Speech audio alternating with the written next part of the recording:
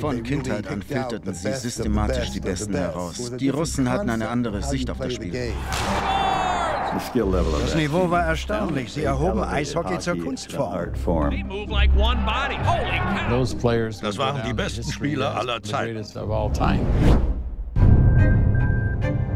Der KGB war immer dabei. Sie sahen Eishockey als Mittel zur Propaganda.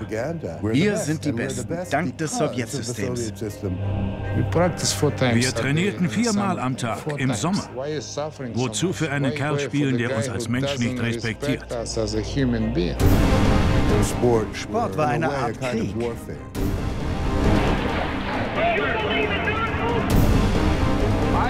Wollen die nicht. Und es wird euch noch leid tun, dass sie gekommen sind.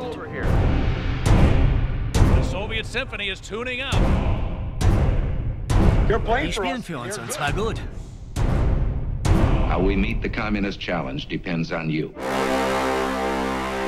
Würden Sie für eine Million Dollar in der NHL spielen?